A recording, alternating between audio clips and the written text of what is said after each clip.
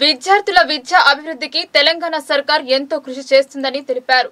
గతంలో క్యాంపస్ను సందర్శించినప్పుడు పలు సమస్యలు తన దృష్టికి తెచ్చారన్నారు. వాటి పరిష్కారం కోసం పూర్తి స్థాయిలో చర్యలు తీసుకున్నామని మంత్రి కేటీఆర్ తెలిపారు.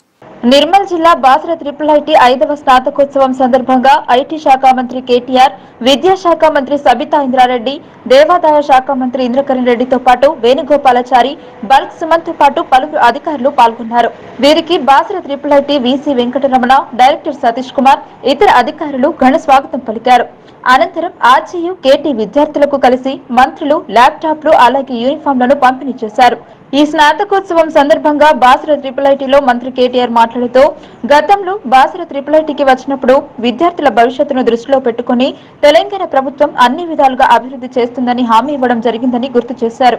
ఇచ్చిన మాట ప్రకారం విద్యార్థులకు కొత్త ల్యాప్టాప్లు పంపిణీ చేయడం అలాగే దానికి తోడుగా ఆడిటోరియంలో మెరుగుపడే విధంగా సీట్లు మార్చడంతో పాటు ప్రత్యేకంగా స్పోర్ట్స్ కొరకు కోర్టు దానికి సంబంధించిన పరికరాల కోసం ఇరవై ఐదు కోట్లు మంజూరు చేస్తామని చెప్పామన్నారు.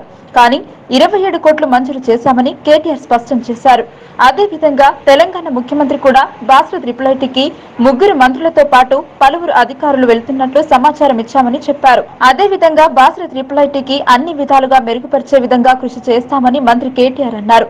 దీనికి boss triple IT vice chancellor Venkataramana మాట్లాడుతూ మీరు వచ్చినప్పటి నుండి బాసు ట్రిపుల్ ఐటీకి అన్ని సౌకర్యాలు కలుగుతున్నాయని ఆనందం వ్యక్తం చేశారు.